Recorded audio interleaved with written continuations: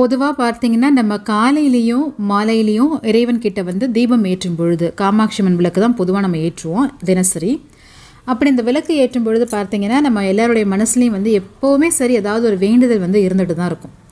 அந்த வேண்டுதல் வந்து விரைவாக இல்லை முழுமையாக நிறைவேறணும் அப்படின்னு சொல்லி நம்ம கண்டிப்பாக விளக்கு ஏற்றி வழிபாடு செய்யும் ஒரே ஒரு நிமிஷம் வேண்டுதல்களை தவிர்த்துட்டு மனசார ஒரு நன்றி சொல்கிற விதமாக நம்ம எப்போவுமே விளக்கு ஏற்ற முதல்ல ஆரம்பிக்கணும்.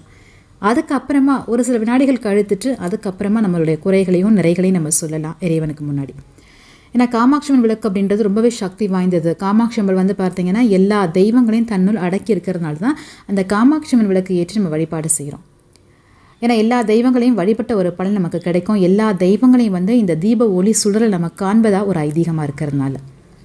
இப்படி ஏற்றக்கூடிய விளக்கு வந்து காலையும் மாலையும் நம்ம ஏற்றுவோம் இல்லையா? அப்படி மாலையில் நம்ம ஏற்றும் பொழுது நம்ம சொல்ல வேண்டிய ஒரு அற்புதமான மந்திரம் இருக்குது அதை சொன்னோம் அப்படின்னா தான் விளக்கு ஏற்றிய முழு பலனும் சரி நமக்கு கிடைக்கும்.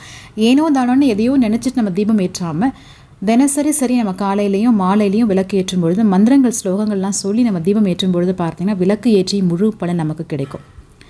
அதிகாலை பொழுதுல நம்ம நான்கு மணிக்கோ இல்லை ஒரு ஐந்து மணிக்கோ எல்லாரும் தூங்கிட்டு இருப்பாங்க. அந்த நேரத்தில் நம்ம வீட்டில் விளக்கு ஏற்றி வழிபாடு செய்யலாமல் நிறைய பேர் கேட்டிருந்தீங்க. பிரம்ம முகூர்த்த நேரத்தில் நம்ம விளக்கு ஏற்றுவது ரொம்ப உத்தமம். யார் தூங்கிட்டு இருக்கா தூங்கலன்னு பார்த்துட்டு இருந்தோம்னா நம்ம விளக்கை ஏற்ற முடியாது. வீட்டில் ஒரு பத்து அறை இருக்குன்னா பத்து அறையில் பத்து பேர் தூங்கிட்டு இருந்தாங்கன்னா நம்ம அவங்கள பார்த்துட்டு இருந்தோம்னா விளக்கு ஏற்றவே முடியாது. நீங்கள் மனசார தூய்மையோட நல்ல ஒரு மனசோட சரி காலையில் பிரம்ம முகூர்த்த நேரத்தில் கண்டிப்பாக தீபம் ஏற்றி வீட்டில் வழிபாடு செய்யலாம். அடுத்தது பார்த்தீங்கன்னா விளக்கு ஏற்றும் பொழுது நம்ம சொல்ல வேண்டிய மந்திரம். அதுவும் முக்கியமாக மாலையில் விளக்கு ஏற்றும் பொழுது நம்ம சொல்ல வேண்டிய ஒரு மந்திரம் இருக்குது என்ன அப்படின்னா விளக்கினை ஏற்றி வெளியை அறிமின் விளக்கின் முன்னே வேதனை மாறும். விளக்கை விளக்கும் விளக்குடையார்கள். விளக்கில் விளங்கும் விளக்கவர் தாமே. இது வந்து விளக்கு ஏற்றும் பொழுது நம்ம சொல்லணும். விளக்கு ஏற்றி முடிச்சிட்டோம் அப்படின்னா என்ன சொல்லலாம் அப்படின்னா இல்லக விளக்கது இருள் கெடுப்பது சொல்லக விளக்கது சோதி உள்ளது. பல்லக விளக்கது பலரும் காண்பது நல்லக விளக்கது நமக்ஷிவாயவே.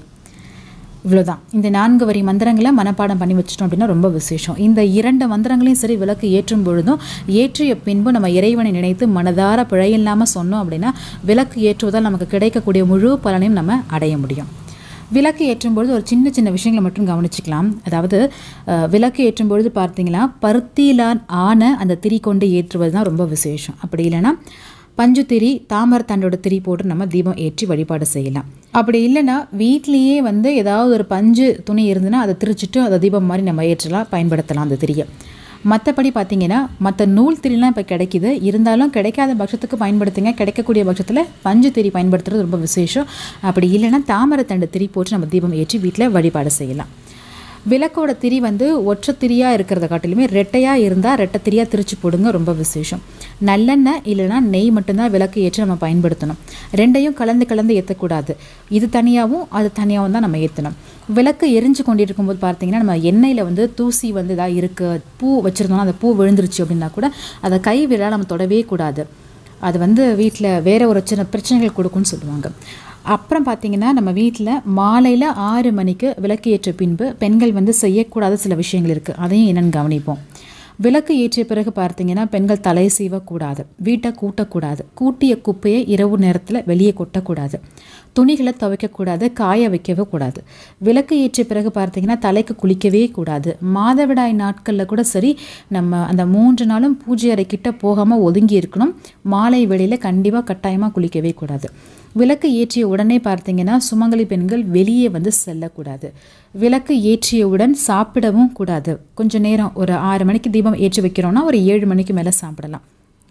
விளக்கு ஏற்றும் நேரத்தில் மாலை பொழுதில் யாருமே உறங்கக்கூடாது. அதை நல்லா கவனிச்சுக்கோங்க. குழந்தைங்க பிறந்த குழந்தைங்க ஒரு பச்சிலம் குழந்தைங்கலாம் வந்து விதிவிலக்கு தான் கண்டிப்பாக விளக்கு ஏற்ற பிறகு பார்த்தீங்கன்னா வெள்ளை பொருள்களை வீட்டை விட்டு வெளியே கொடுக்கக்கூடாதுன்னு சொல்லுவாங்க. பால் தயிர் மோர் உப்பு தவிடு சுண்ணாம்பு அரிசி இதெல்லாம் வந்து நம்ம கண்டிப்பாக கடனாக கொடுக்கக்கூடாது வாங்கவும் கூடாது.